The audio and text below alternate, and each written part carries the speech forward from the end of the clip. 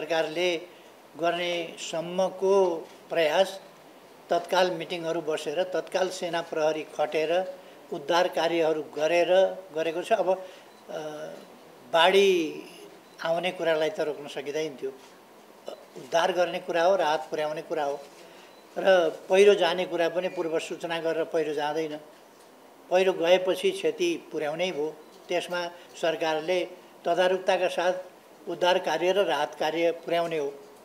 त्यो काम पुर्याएको छ भन्ने मलाई लाग्छ। मैले बाहिरै हुँदाखेरि पनि यस विषयमा जानकारी लिइराखेका छु र आफ्नो मातहतका साथीभाइहरूलाई पनि निकायहरूलाई पनि निर्देश गरिराखेका छु र मैले पाएको जानकारी अनुसार आफ्नो बुता अनुसार गरेको छ। अब विरोधका लागि विरोध गर्ने परिपाटी होइन।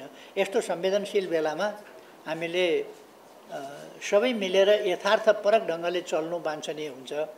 न कि अब विरोध गर्नका लागि विरोध गर्ने जस्तो खालको स्थिति त्यो राम्रो हुँदैन भन्ने लाग्छ मलाई।